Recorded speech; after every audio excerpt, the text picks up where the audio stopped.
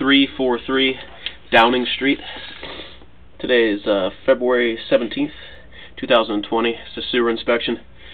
So we uh, are down here in the basement. We found that the access for the sewer is right here. The house trap. And uh, this was completely covered up with mud when we got here. And then upon taking the cap off, we found there's a giant hole. The piping right here, we can see that's completely broken.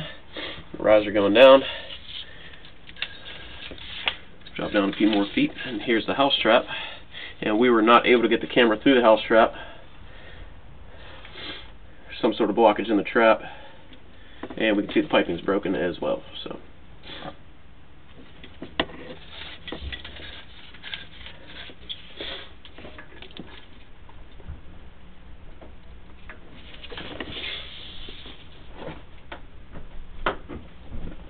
So we're going to recommend a repair on this and then we'll go from there.